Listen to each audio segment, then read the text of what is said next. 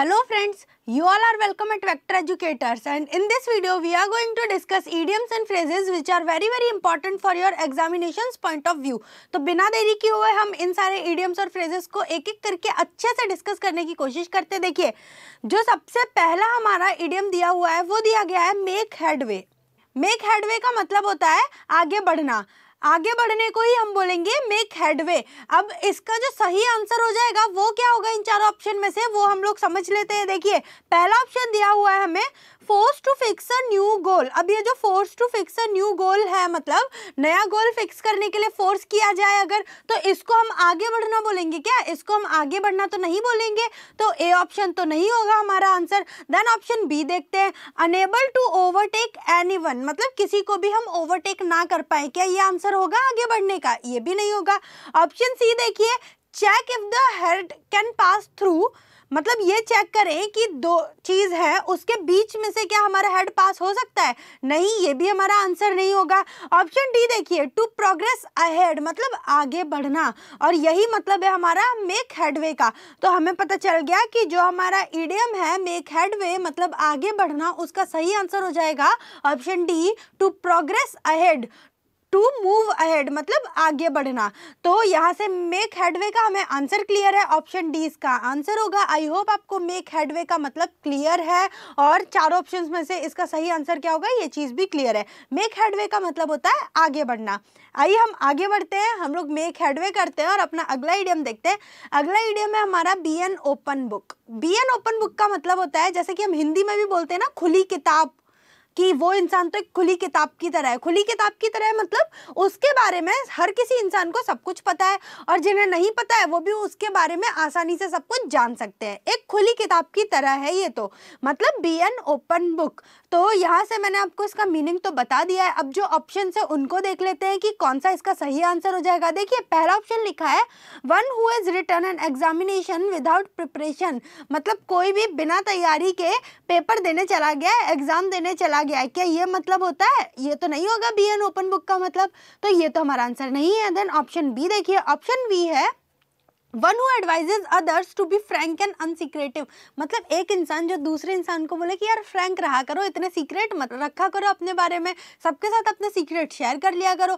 नहीं, ये भी आंसर नहीं होगा। Then option C one who is fond of reading even one travelling मतलब कोई इंसान होते हैं ना, कुछ लोग होते हैं जिनको ट्रैवलिंग के टाइम पर भी बुक्स पढ़ना पसंद है तो ये भी आंसर नहीं होगा बी एन ओपन बुक का।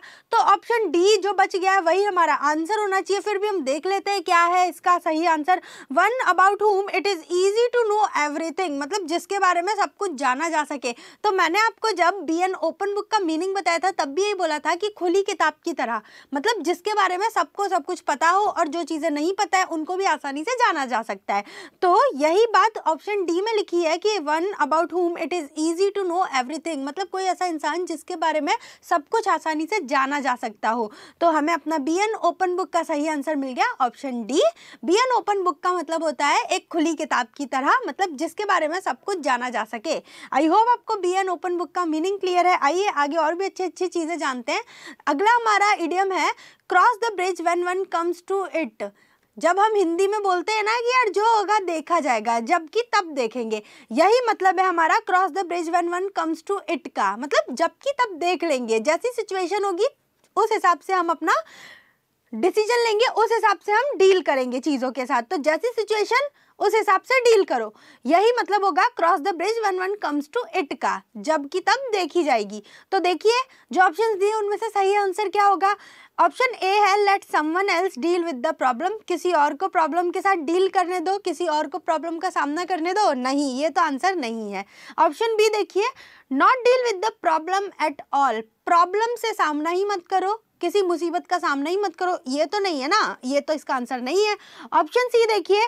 Deal with something only when necessary किसी चीज़ के साथ तभी डील करो जब उसकी ज़रूरत है। मतलब जैसी ज़रूरत, उस हिसाब से काम करो। जैसी सिचुएशन उस हिसाब से काम करो।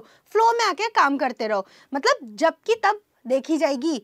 ये है इसका मतलब ऑप्शन सी का। तो यहाँ से हमको लग तो रहा है कि ऑप्शन सी हो सकता है, लेकिन डी भी देख लेते हैं।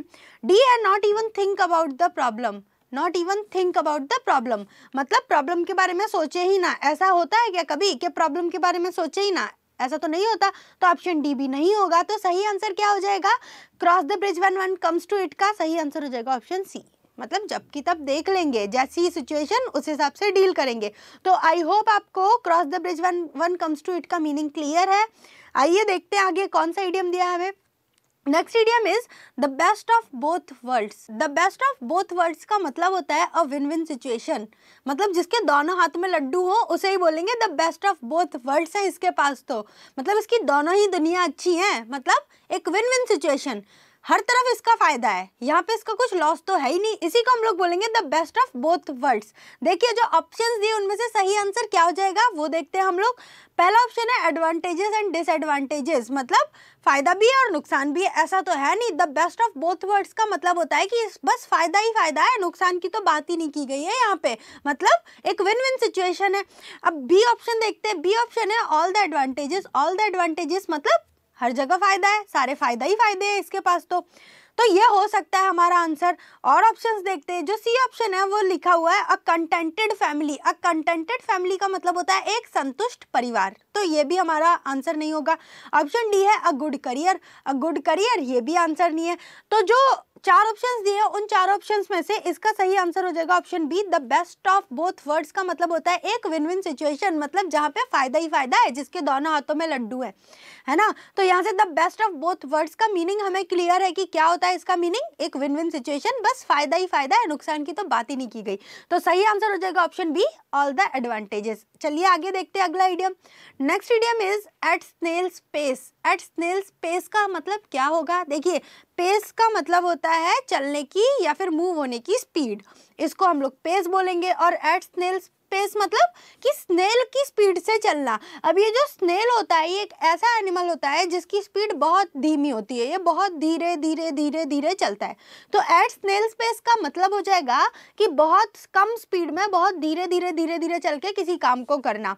ठीक है? तो हमें एट स्नेल स्पेस का मीनिंग भी क्लियर है। अब जो ऑप्शन दिए, उन ऑप्शन में इसका सही आंसर क्या होगा, वो देखते हैं। देखिए डू समथिंग वेरी स्लोली हाँ यही तो मैंने मीनिंग बताया आपको। डू समथिंग वेरी स्लोली काम को बहुत धीरे धीरे धीरे धीरे करना एट स्नेल स्पेस तो ए हमें लग रहा है कि आंसर हो जाएगा, लेकिन दूसरे ऑप्शन एक बार देख लेते हैं फिर भी।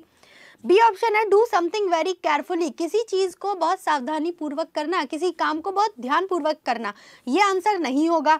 ऑप्शन सी है कीप योर मूव्स सीक्रेट मतलब अपनी चाल को सीक्रेट रखना। मतलब आप क्या अगला मूव लेने वाले हैं, आपका अगला स्टेप क्या होगा, इस चीज़ को सीक्रेट रखना।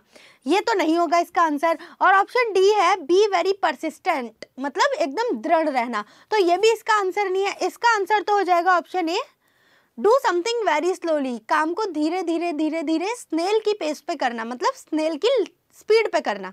आई होप आपको एट स्नेल स्पेस का मीनिंग भी क्लियर है कि काम को धीरे धीरे करना और जो ऑप्शन दिए उनमें से इसका सही आंसर क्या होगा? इसका सही आंसर हो जाएगा option A do something very slowly I hope आपको ये ईडियम क्लियर है। तो ये कुछ आज ईडियम्स थे जो हमने डिस्कस किए हैं। ये प्रीवियस ईयर में पूछे गए हैं, इसलिए बहुत ज़्यादा इंपॉर्टेंट है ये सारे हमारे लिए। आई होप आपको ये सारे ईडियम्स अच्छे लगे होंगे, मज़ा भी आया होगा इनको पढ़ के और एक एक ईडियम अच्छे से क्लियर होगा अब तो है ना?